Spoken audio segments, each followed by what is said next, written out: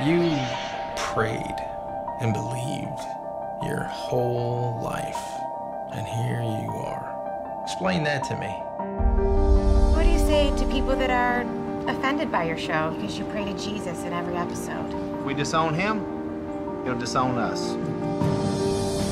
When a 12 year old watches his mother dying of cancer, a God who would allow that is not worth believing in. Life is really a tale told by an idiot, full of sound and fury and signifying nothing.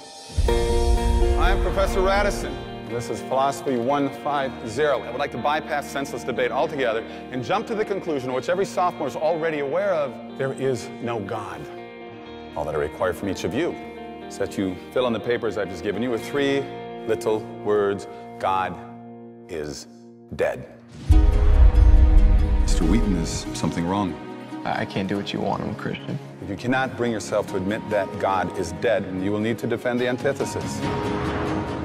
So your acceptance of this challenge may be the only meaningful exposure to God and Jesus they'll ever have. See, to me, he's not dead.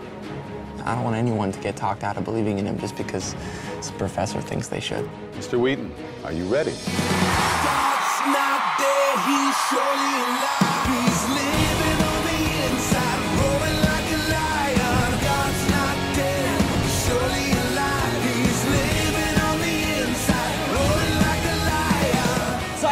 His existence. You know the truth. So why do you hate him? It's a very simple question. Why do you hate God? Not dead, he's surely alive.